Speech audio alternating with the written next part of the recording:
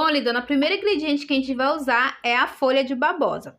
A babosa já é uma velha queridinha nossa, mas o que talvez você não conheça é que a babosa ela é rica em antioxidante, vitaminas e colágeno, que auxiliam na restauração e no encorpamento do cabelo. Vai retirar somente o gel da babosa em forma de zigue-zague, como vocês estão podendo ver. Além disso, a babosa ela é rica em vitamina A, C, E, B2, B3 B6, minerais, então já sabe, né? Quer fazer o cabelo crescer, é só usar o gel da babosa. Olha, tiro tudo, vocês podem ver que não fica pedacinho, só é fazer zigue-zague que vai saindo o gel.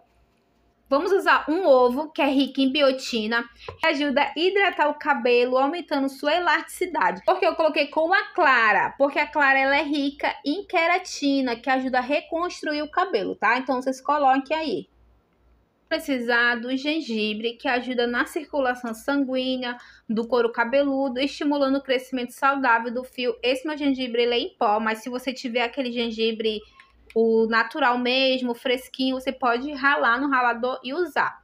Usei somente uma colher de chá de gengibre, tá? Esse aqui meu é, eu comprei em loja de produtos naturais, vocês podem encontrar no mercado também, mas em pó eu encontro mais em loja de produtos naturais. Agora, só é mexer bem.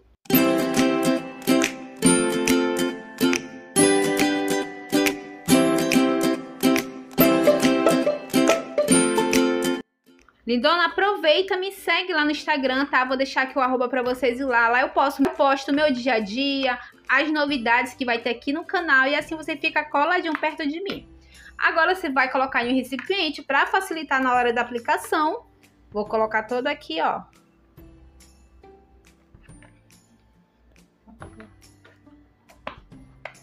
Agora só é chacoalhar bem. Pode chacoalhar.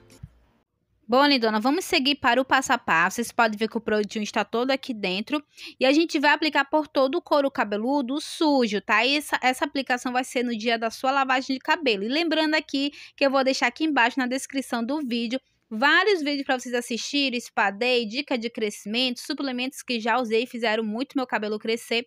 Então, vou deixar aqui embaixo, só é vocês clicarem lá o vídeo que vocês procuram, tá bom, lindona? Então, massageie bem o couro cabeludo. Esse frasco que eu tenho, ele é muito bom porque ele tem um bico um pouquinho mais grosso, então o produto sai com muita facilidade. Então eu venho sempre aplicando e massageando bem o couro cabeludo. A massagem mais essa receita, ambas as duas são maravilhosas para fazer o cabelo crescer. Eu amo dica de crescimento capilar, sou apaixonada. E sem falar que eu amo a babosa, o ovo e o gengibre, os três juntos nessa receita faz milagre em qualquer cabelo, tá, lindona? E não pode esquecer da massagem, isso é muito importante, tá, lindona? Para fazer o cabelo crescer horrores. Vou prender aqui e vou deixar o tempo aí de ação dessa misturinha. Enquanto isso, vou colocar na touquinha laminada para potencializar. Lindona, vou deixar agir aqui por 30 minutinhos e o que sobrou você descarta. Precisa guardar na geladeira, descarta e refaça novamente, tá? Essa receita, ela é 30 minutos agindo no couro cabeludo, só no couro cabeludo, não precisa passar no comprimento. Vocês viram que eu passei no couro cabeludo. Deixei aqui na touquinha laminada. Se não tiver touca laminada, gata, usa uma sacola do supermercado mesmo. Aí você deixa agir os 30 minutinhos. Se você quiser deixar agir até por uma hora, você pode, tá?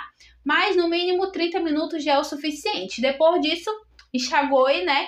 Bem, lave com shampoo, faça o tratamento normalmente, você pode condicionar também do comprimento para baixo e finaliza como de costume.